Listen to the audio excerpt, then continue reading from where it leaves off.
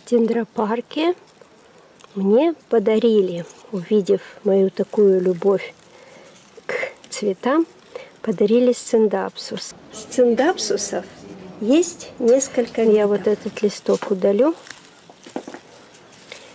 Корешок хороший. И даже, видите, есть вот такой длинненький корешок. Ну вот в этой почве он находился. Я немножко добавлю, конечно, этой почвы. Но, как всегда, покажу, что вот дренаж. Потом добавляю немного коровяка. Я думаю, что пересажу его только весной, поэтому подкормка ему, конечно, нужна. Добавляю почву,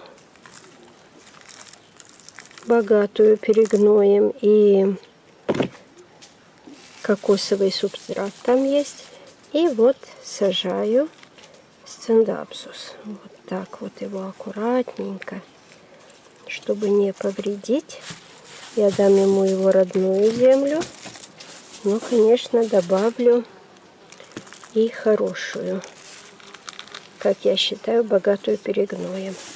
Вот я его в его прежний грунт отправляю. Ну, вот, смотрите, добавляю и кокосовый субстрат, и перегной, торф. Вот. Осталось только полить и попросить, чтобы он у меня рос. Это сциндапсус. Вы видите, бело-зеленая форма, а у меня есть золотистый.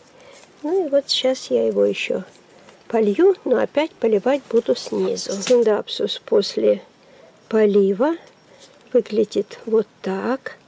Здесь полное уплотнение, но точку роста – не надо закрывать. Поэтому я оставлю так, а если увижу, что он пойдет в рост, то тогда, конечно, добавлю еще грунта. Вот. Подарили мне также и суккулент. Вот имеет он ампельную форму. Очень уж он мне понравился, но пока везла, конечно, обломала. И сейчас я постараюсь укоренить вот в эту смесь. Это песок, торф и кокосовый субстрат. Так, вначале я попытаюсь укоренить самые большие листочки, которые ко мне попали. Даже не знаю, надо вот это удалить, а листочки посадить. Они так один к другому прилипают, что боюсь, что ничего у меня не выйдет. Вот так. Вот оставила череночек такой. И опять вот, я его сажаю. Но здесь, смотрю, что вот здесь есть корешочек. Видели корешочек? Вот он малюсенький. Поэтому я его вот так посажу и, конечно, все это присыплю. И вот этот.